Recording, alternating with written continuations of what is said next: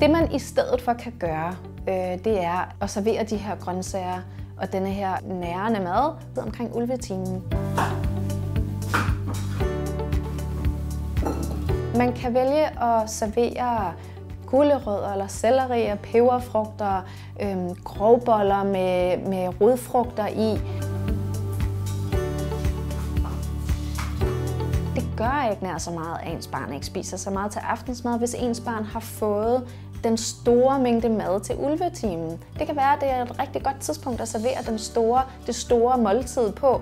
Øhm, og det ikke er om aftenen, hvis det er, at man kæmper med aftensmaden. Så server det det store måltid omkring ulvetimen.